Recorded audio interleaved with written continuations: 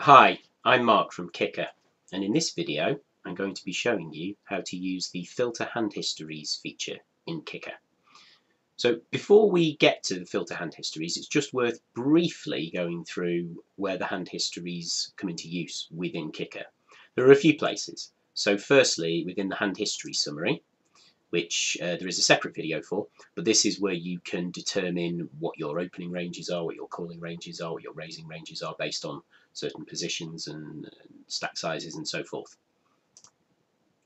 There is also the 5-bet shove call analyzer, which is where you can put in a hand and then you can determine how often that hand is good, what kind of equity that hand has against the kind of hands that opponents in your player pool would uh, make a 5-bet shove with.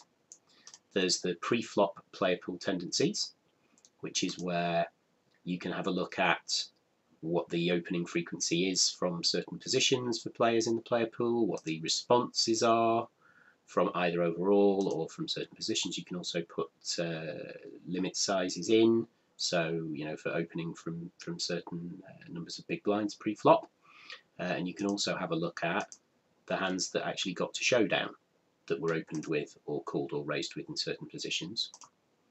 We have the flop player pool tendencies, which is where you can have a look at and also compare and contrast um, the effect of different bet sizes on the flop. So you can see the, the players call, raise and fold tendencies based on bet sizes, based on textures of flops.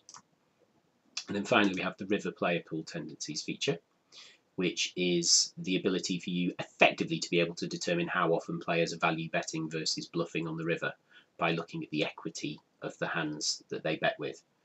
All of those features I've just rattled through require the use of hand histories. Hand histories that you will have um, imported using the import hand histories feature. Now you can see from here that I am currently logged in as MarkTest456 and I have nearly 2 million hand histories that I've imported that are being filtered. This is what the filter hand history screen looks like. So in the top section we've got all the tournaments in the blue and white stripe section and in the green and white stripe section we've got all the cash games that uh, we have imported and filtered. At the moment there are actually no filters applied. It's literally got all of the hands. But let's say we wanted to just look at a certain type of cash game. So I'm going to turn all the tournament hands off just by clicking the all off button there. And you can see it turns the checkboxes next to all of these different tournament types that we've imported all off. And I'm going to turn all of the cash games off. And then I'm going to sort the cash games by the total number of hands available for the game type. And I'm going to just turn on PokerStars regular 6 max US dollars, small blind 2, big blind 5 cents with no ante. So I'm now just filtering on this specific game type. If I hit OK, you'll see that straight away I'm only filtering on these 375,000 hands rather than the nearly 2 million hands that I was filtering on previously.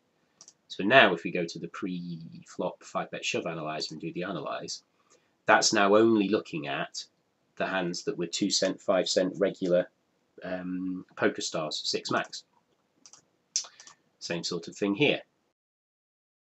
And then you can see that this is just filtered now on those game types that we've specifically filtered on. So what you're getting is a, is a more focused set of information about the player pool from the 2 cent, 5 cent PokerStars 6 Max player pool rather than it being mixed in with all kinds of data from other hands that were played at other levels and on other sites and with different numbers of players.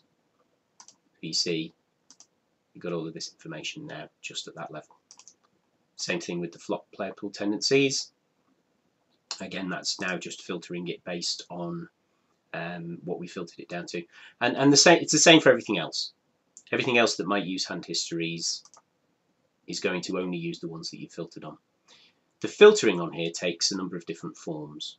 So if we just turn everything off again in this filter, you can see you've got the sites. So if you want, you can turn off a specific site. So I've, I've turned the filters for everything off now by default. If I now get rid of PokerStars, now what we're looking at, both in tournaments and in cash, is just um, 888 because the, these data sets that I've uh, imported include hands from both PokerStars and 888. So now if I turn on all the 888 cash games, come back to here, got 111,000 hands. They are all 888 hands now. Come back in here, let's turn everything off again. You can also do it based on the maximum number of players. So for example, let's say we only wanted to look at nine max hands. So we just set the minimum and maximum number of players to nine. You can see suddenly all of the hand types that are filtered here are all nine max. And if we now turn them all on and then say OK, come back here, we've got 365,000 hands and these will all be nine max hands. So if we go to the analyzer, just change that to nine and then do the analyze and you can see Pocket Jacks has 39% equity when you're nine-handed.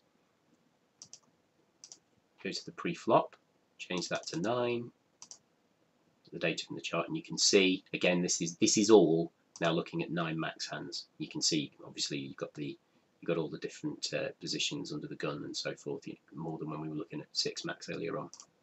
And the same for all of the others. You can also do the filtering based on the, the if you're looking at tournaments, the tournament buy-in, minimum and maximum. By default, it's just set to zero and a massive number, so it includes all the tournaments, but you can filter that down.